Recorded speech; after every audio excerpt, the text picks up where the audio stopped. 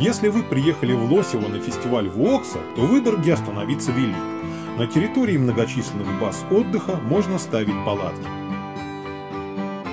На современной Лосевской базе место для палаток отведено неподалеку от берега, рядом с красивыми соснами.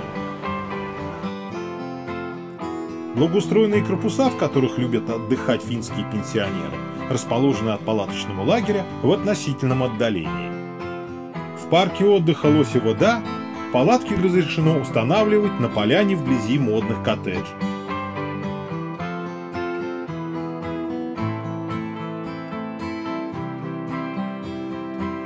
Любители азиатской экзотики на территории баз Лоси-Вода и Кивиниеми дожидаются юрты. Можно устроить палаточный лагерь и вне огороженных территорий. Некоторые предпочитают жить возле железной дороги. Когда-то в Лосево основным источником продуктов питания был магазин «Пороги». Теперь возле Приозерского шоссе работает сетевой супермаркет. Поблизости находится небольшой рынок.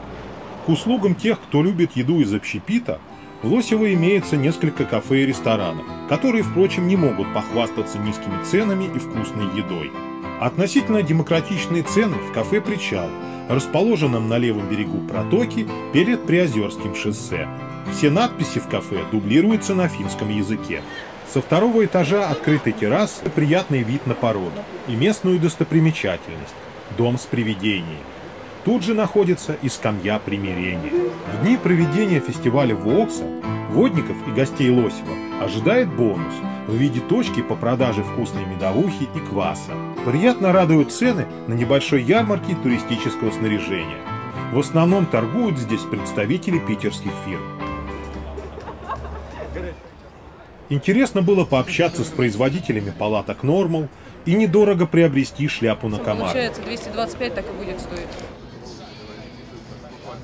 А в городе они, соответственно, 280. Рядом с базой Кивиниеми работает киоск по продаже однодневных экскурсионных автобусных туров по живописным местам Карельского перешейка.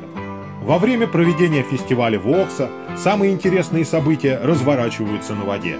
О том, как проходит фестиваль, смотрите в следующем видео. Не забудьте подписаться на канал.